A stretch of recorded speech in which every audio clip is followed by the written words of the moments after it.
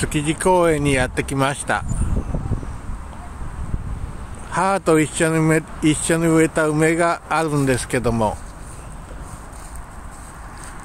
この川はサバ川ではないしマテ川でもないし豊富市にある川は私は2つしか知らないのですけど今言った。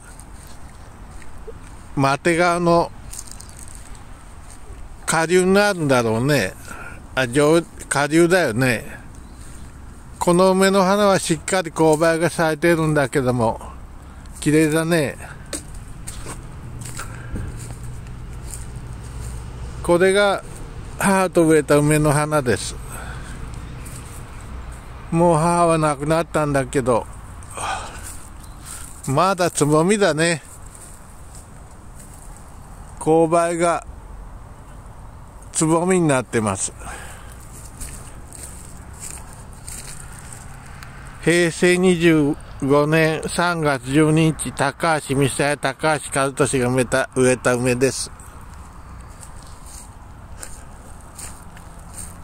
あれは水道局かな。ナンパした船もあるし。